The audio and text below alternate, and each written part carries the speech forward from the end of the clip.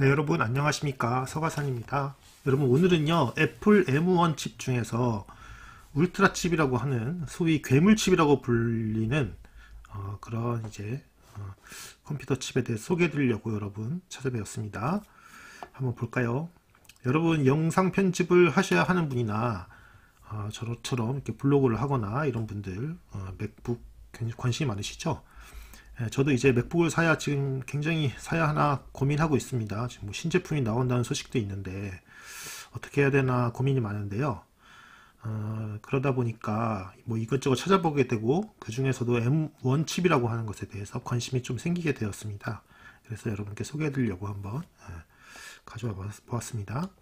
자 여러분 애플 M1은 어떻게 탄생했냐면요. 음, 이제 지난 2020년 세계 개발자 회의에서 애플은 그동안 쓰던 인텔 칩셋 대신에 자체 개발한 애플 실리콘을 맥에 탑재한다고 발표하였죠. 벌써 2년 전입니다. 그게.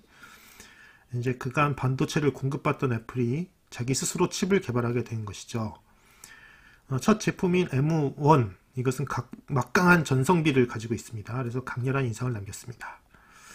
이는 아이폰에 들어가는 모바일 프로세서 A 시리즈를 개발하며 쌓은 노하우를 적극 발휘한 덕분입니다. 이에 M1 칩을 장착한 PC는 빠르고 조용하며 배터리도 오래간다 평판을 얻게 되었습니다. 예. 제가 유튜브를 찾아보면 뭐 극찬 일색이죠. 예.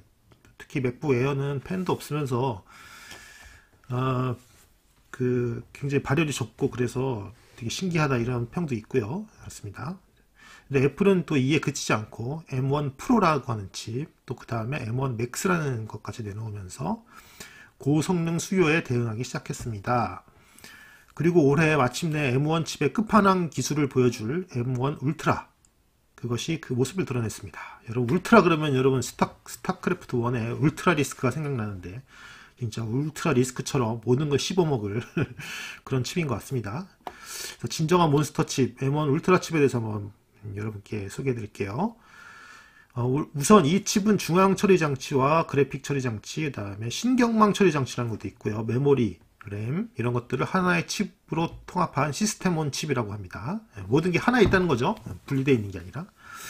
이 장점은요. 부피를 줄이고 또 발열이 적으며 속도가 빠르면서 병목 현상을 줄수 있다는 것입니다. 여러분 이거 컴퓨터가 갖춰야 될 최고의 뭐 덕목들이죠 다. 예. 그래서 M1은 165 165개의 그 트랜지스터를 가지고 있는데 그 다음에 M1 프로가 337고 두 배죠. 그 다음에 M1 맥스는 570억 거의 두 배죠. 그리고 그런데 이 울트라 칩은 무려 1170억 이것도 거의 두 배입니다. M1 맥스에 계속 두 배씩 지금 뛰고 있죠. 예. 엄청나겠죠. 그 성능이. 예. 그래서 왜 이렇게 음, 그렇다면 고성능 칩을 내놨을까 살펴볼 필요가 있는데요. 어, 역시 고성능 칩을 원하는 수요가 많아졌기 때문이겠죠. 예. 이제 뭐 편집하는 분들도 많아지시고 더 높은 성능 이걸 요구하는 분들이 많아지시니까 이렇게 엄청난 성능의 컴퓨터를 만들어야만 이제 자신의 창작 의지를 이렇게 만족시켜주는 분들한테 공급할 수 있겠죠. 음.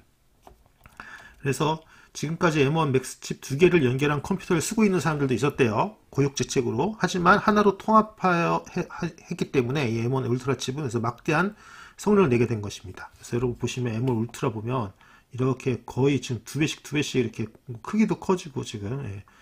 1170억 개의 무려 어, 트랜지스터가 더 있다고 합니다. 그런데 여러분 문제는 뭐겠습니까? 애플 그러면 역시 가격이겠죠.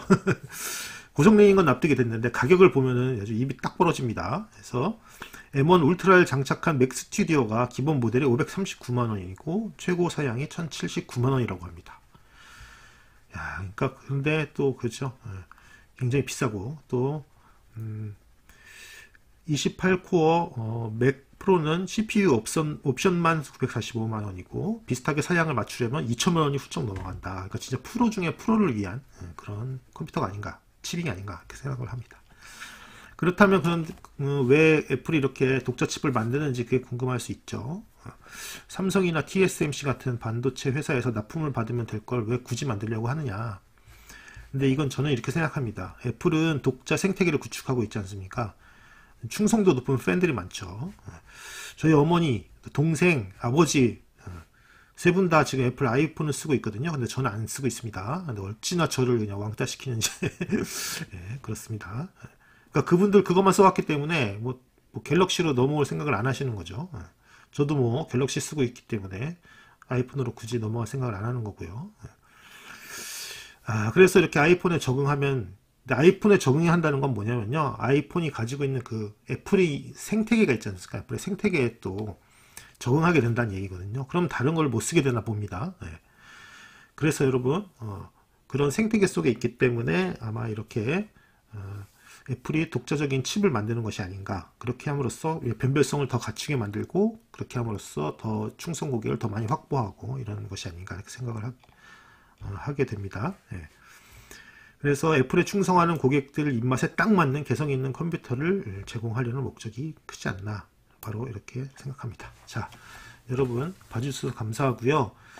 어, 다음에 더 좋은 정보로 찾아뵙겠습니다. 여러분 좋아요와 구독은 저에게 큰 힘이 됩니다. 네, 이상 서가산이었습니다. 감사합니다.